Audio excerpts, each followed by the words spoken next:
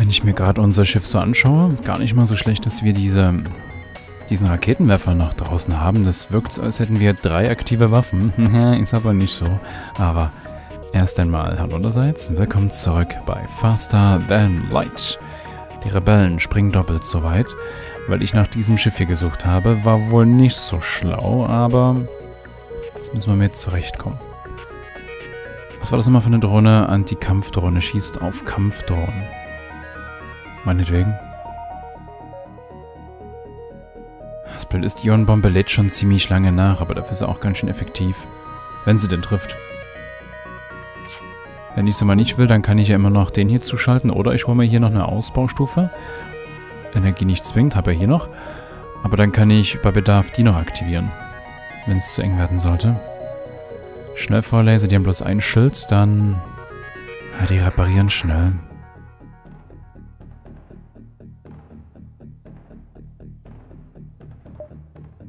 Die Ionenbombe wird dann auch gleich zum Einsatz kommen, aber erstmals überlege ich, ob hier oder hier.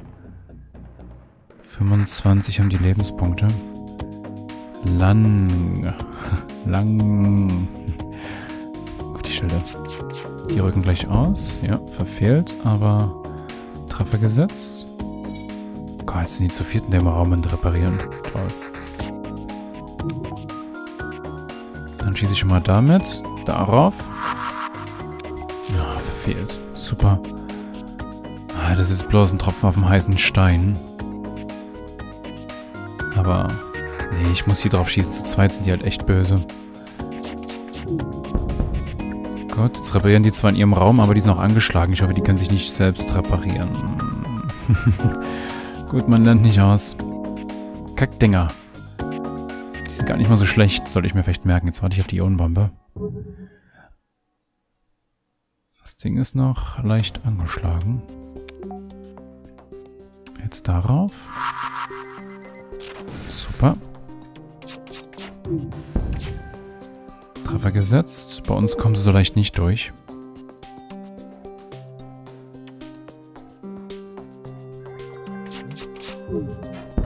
Ah, jetzt treffen wir nicht gut. Jetzt hätte ich beinahe gesagt, komm, lass ich mal deren Drohnensteuerung in Ruhe mit der nächsten Ionenbombe.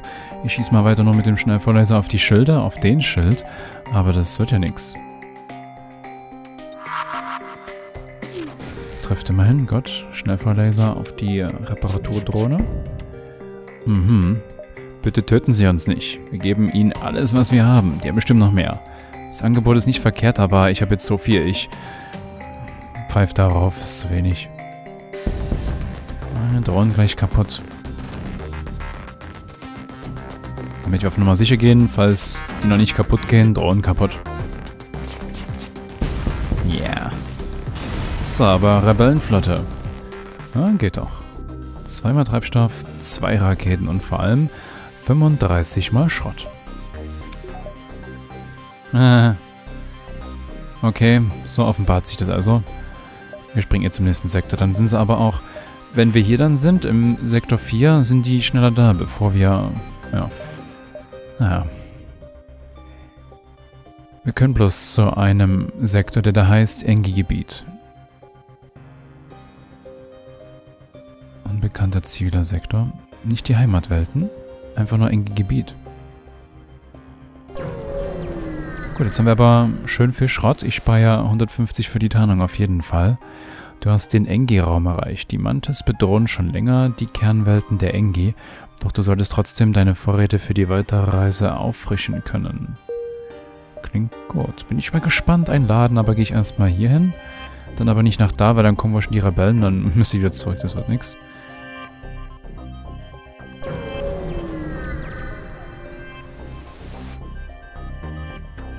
Jetzt verstehe ich das. Wenn wir wirklich mal auf, in einem Sektor ganz schnell raus sollten. Beispielsweise hier ist der Ausgang. Ich zeige es gleich einfach mal auf der Karte. Du fängst den Notruf eines Engi-Schiffs in der Nähe auf. Hilfe erbeten. Gefahr vorhanden. Zerstörung steht bevor.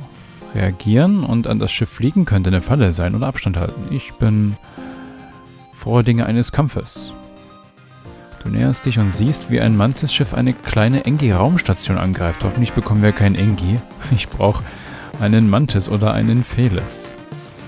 Du machst dich bereit zum Kampf. Zwei Schilder. Und ein Teleporter, da kommt gleich ein Mantis rüber. Wo geht er hin? Er greift schon den Sauerstoff an. Achso, okay, das ist auch zu sehen. Rüber, rüber. Eindringlinge entdeckt. Er will uns die Luft abdrehen, der Arsch. Das ist ein guter Nahkämpfer. Kann er gegen unsere beiden bestehen? Ich glaube ja. Schulz hat sich verbessert. Oder ein Laser. Oh.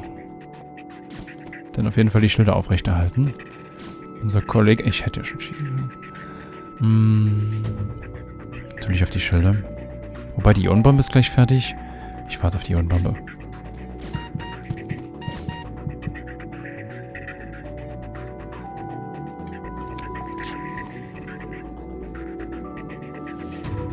Gehst mal dahin mit, wir sehen, was bei denen los ist. So, jetzt auf die Schilde, bitte. Treff, dann auf die Waffen. Meinetwegen könnt ihr den Mantis nochmal rüberschicken. Habe ich kein Problem mit.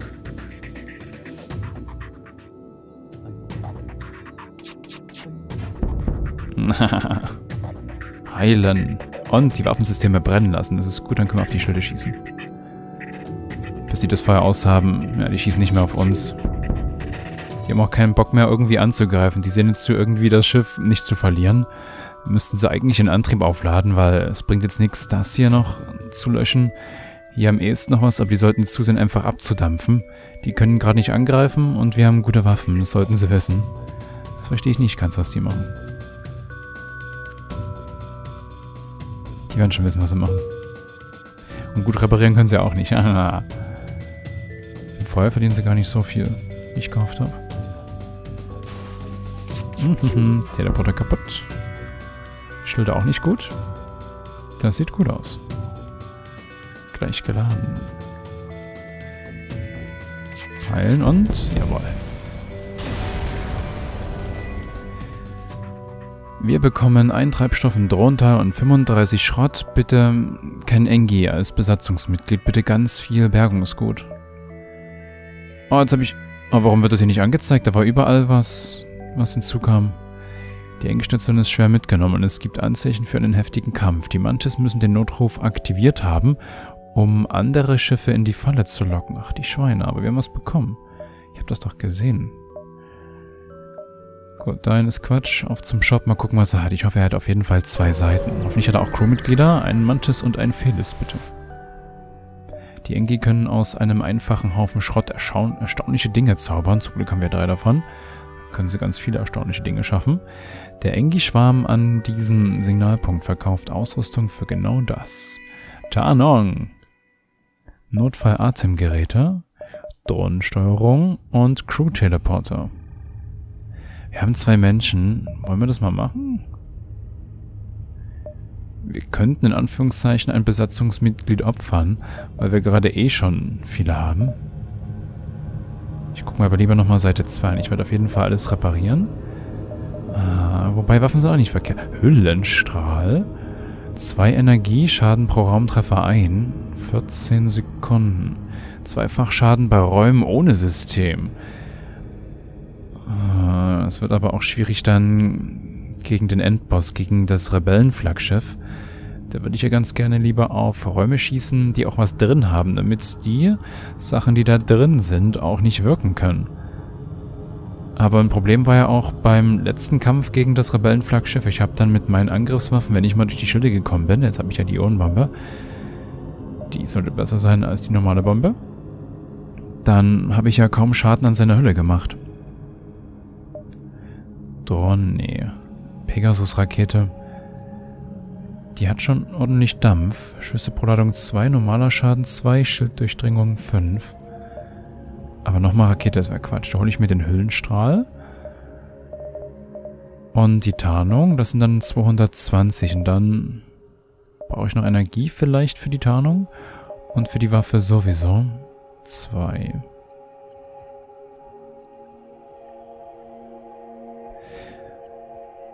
Okay. Und dann hier noch. Ah, es kostet viel.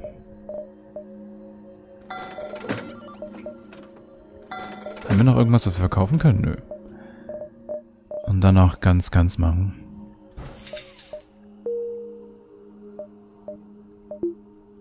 Wobei, ich lasse an, jetzt schicke ich mal ihn rüber. Er hat schon lang genug gewartet.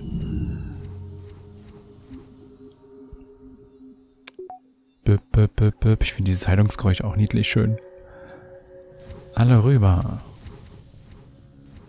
Räume tauschen. Können wir uns Energie? Ja, könnten wir. Dann könnten wir die Krankenstation und Tarnung zugleich anhaben, aber ich spare lieber, ich will schnellstens den Höllenstrahl aktivieren. Ja, da kommen die Rebellen schon. Wegen doppeltes Sprungs. Jetzt kann ich es mal zeigen. Also sind wir beim Ausgang und die Rebellen sollten mal bloß hier sein und wir sind schon da, dann rücken die, währenddessen wir hier vorrücken, in diesen gewohnten Abständen erstmal, Abständen erstmal im alten Sektor weiter, ehe die dann im neuen Sektor erscheinen. Schätze ich mal. Okay, wo gehen wir lang? Wir können jetzt nicht so viel abklappern, deswegen sollten wir vielleicht zusehen hier. So, vielleicht geht das klar. Weil es wirkt wie ein Punkt zu viel. Mal gucken. Ich kann ja, wenn ich hier bin, immer noch so direkt abbiegen. Gehe ich jetzt erstmal nach oben. Wenn ein Auftrag, ein Notsignal kommt, dann kann ich ja immer noch abschweifen. Ein Rebellenschiff ruft dich. Föderationsabschaum. Was? Darauf haben wir lange gewartet. Ein Schild Rebellen Disruptor. Oh, oh. Sieht aber interessant aus. Feindliche Kampfdrohne greift ein Schiss, Schiff an. Kann deaktiviert werden. Ja, aber was, was schießt das Ding? Laser? Okay. Sieht aber anders aus als die gewöhnlichen Laserstrahl schießenden Drohnen. Hm.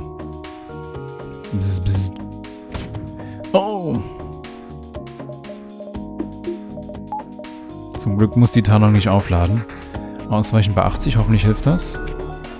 Oh, das war hier wichtig bei der hier.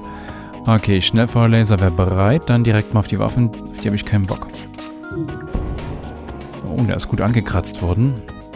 Na, wobei es geht. Hat stärker gewirkt, als es dann doch war.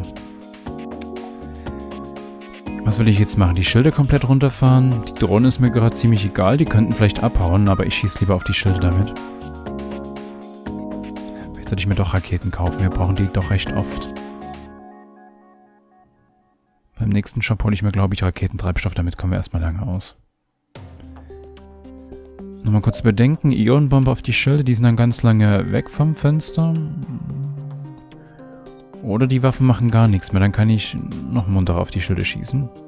Wobei, wenn die Schilde ganz weg sind, dann kann ich auch ganz munter auf die Waffen schießen. Ich bleib dabei. Hoffentlich trifft's. Jawohl.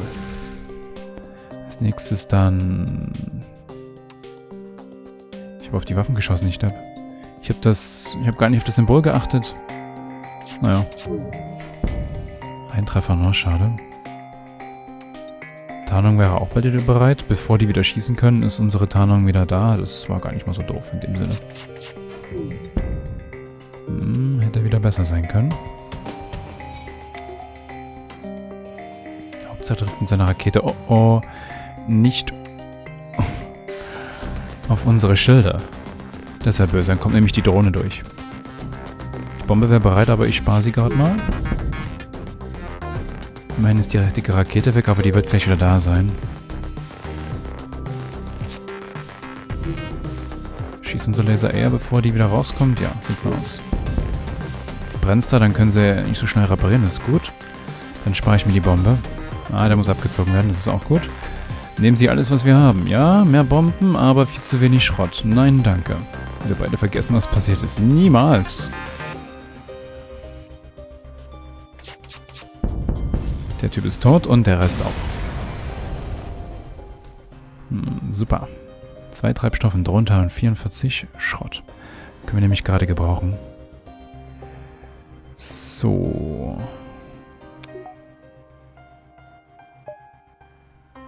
Ein 35er und ah, 85. Und dann muss noch da, da spare ich noch ein klein wenig. Vielleicht kommt ein Shop. Vielleicht bekommen wir ein tolles Crewmitglied. Ich brauche unbedingt einen Nahkämpfer. Wobei unbedingt, wir hätten zwei Menschen, die im Nahkampf auch nicht verkehrt sind. Hm. Wenn ich den Shop anfliege, wir haben jetzt nicht so viel zum Ausgeben. Ich muss erstmal die Waffe zum Laufen bekommen. Ich würde mir bloß ein Crewmitglied kaufen. Wenn wir Pech haben, in Anführungszeichen Pech, dann bekommen wir in diesem Sektor sowieso noch eins. Ich fliege am Laden vorbei.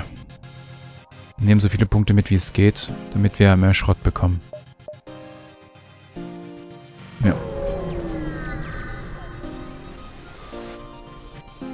Als du im System ankommst, ruft dich sofort ein ziviles Engi-Schiff. Der Kapitän erscheint auf dem Bildschirm und fragt, seltsamer Fehler. Können Sie bei Fehlersuche helfen? Sich hier Problem anhören, das könnte aber auch eine Falle sein, wenn die uns wieder was auftischen und währenddessen unsere Schilde deaktivieren. Erklären, dass du nichts vom Programmieren verstehst und verschwinden. Wir haben drei Engi, die hervorragende Sachen schaffen können. Mantis mit Fehlfunktion gefunden. Glaubt, er wäre Mensch. Nimmt Eingabe nur von Menschen an. Gefahreneinstufung extrem hoch. Erbitten Hilfe. Shuttle mit einem Team losschicken.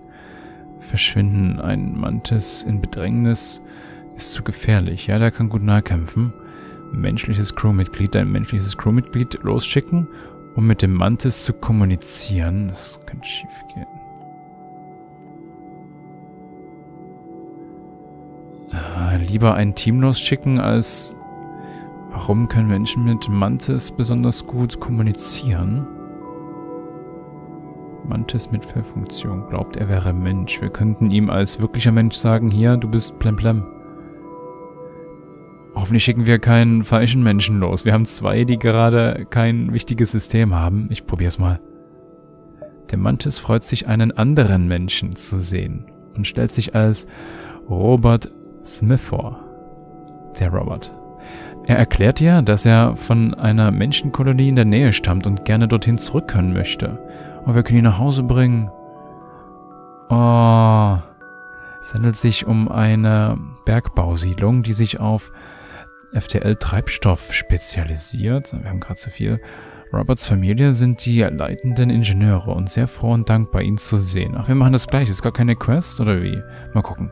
Scheinbar wollte er sich wie sein großer Bruder der Föderation anschließen, wurde aber als Rekrut abgelehnt. Ihm eine Position auf deinem Schiff anbieten. Er ist ein Mantis. Fragen, ob er sich deinen Antrieb mal ansehen könnte. Dann könnte er uns vielleicht Energie oder hier was bringen. Ne, wir nehmen ihn mit. Er nimmt dein Angebot gern an da er schon immer der Föderation dienen wollte. Super! Jetzt sind wir sogar schon zu siebt. Geil. Ah, tolle Geschichte, die wir erlebt haben. Wir können kein weiteres System besetzen, kein wichtiges System. Wir haben nirgendwo mehr einen Kopf, dann bleibt einfach mal hier. Hm. Cool, jetzt sind wir schon vier Menschen. Und ein Mantis. Und drei Engi. Im Grunde sind wir zu acht. Hm. Gut. Ein Notfall. Da, da, da, da, da wäre möglich. Oder wir machen es... Äh ich würde den doch ganz gerne mitnehmen. Eins, zwei, drei, vier, fünf, sechs. Eins, zwei, drei, vier, fünf, sechs. Die sind viel zu weit hinten an. Ich klappe die hier ab. Ja.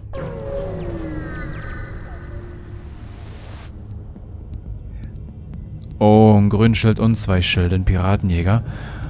Zuerst sieht es aus, als wärst du in einem leeren System angekommen, doch ein Schiff taucht hinter einem Planeten auf und ruft dich. Haha, ich bin der tote Pirat Tuko. Ach, er ist tot, ist ja gut. Gleich werden sie sterben.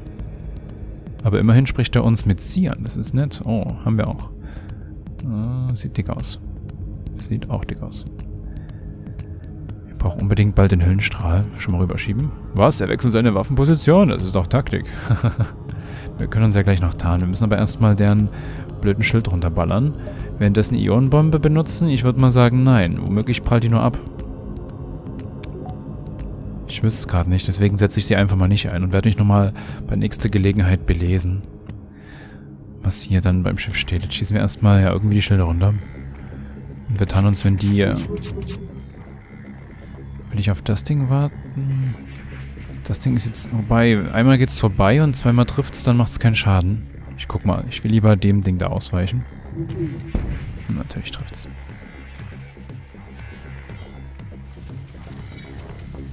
Ich warte auf die Ionenbombe, du schießt weiter auf Schilder. Stimmt sogar. Das dumme Ding. Achso, das Ding ist jetzt komplett kaputt gegangen. Jetzt schießt das aber auch gleich. Immerhin 80. Äh, 60, nicht mehr 80. Trifft's? Jetzt hab ich nicht geguckt. Hat's irgendwas gemacht? Nö. Jetzt machen die zu viert ganz, das ist gut. Oh, er hat ganz schön was abbekommen. Wenn die das nochmal schaffen... Hm, ich schieße mir erstmal auf die Schilde.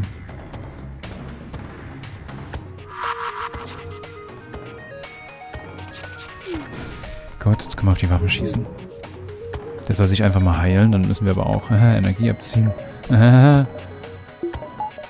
jetzt müssen wir kurz alle drunter leiden.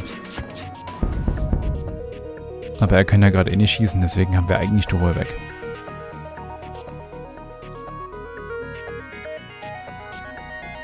So, die können gerade eh nicht schießen, deswegen können wir auch mal kurz den Raum alleine lassen. Wie sie alle loswuseln. Achso, ich kann ja wieder so machen. Das feindliche Schiff scheint sein FTL zu starten. Es versucht zu fliehen. Na, jetzt will es ab, jetzt will es nicht mehr fliehen. Wobei es macht ein Angebot, falls sie nicht mehr rechtzeitig fliehen können. Sie haben uns gezeigt... Sie haben es uns gezeigt. Wir sind besiegt. Nehmen Sie das hier. Wir schämen uns. Hm, ganz bestimmt. Piraten. Und Treibstoff drunter. 22 Schrott. Nein, danke. Zur Sicherheit behalte ich die Ionenbombe bereit. Der ist noch verzögert.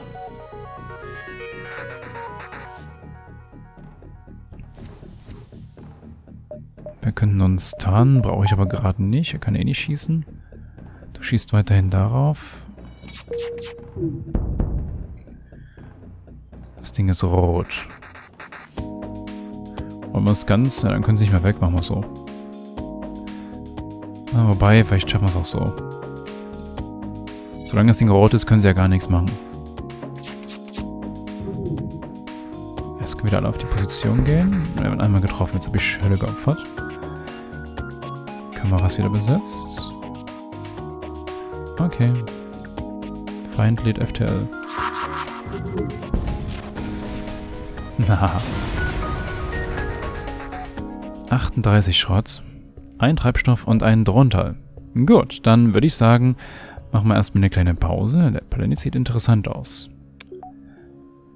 Und bis zum nächsten Mal. Macht's gut und ciao, tschüss.